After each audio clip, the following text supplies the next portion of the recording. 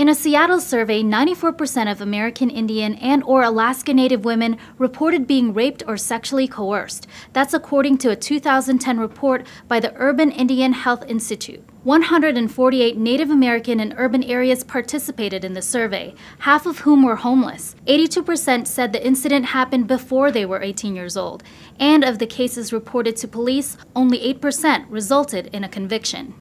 When I saw the results of the survey, it was almost like my heart had stopped. I couldn't believe the information that was contained within it.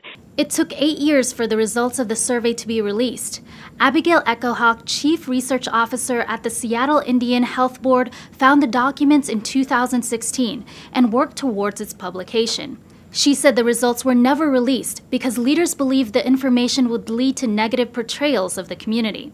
She said movements like Me Too helped change that conversation. This isn't the first study to explore the high number of sexual violence among Native women.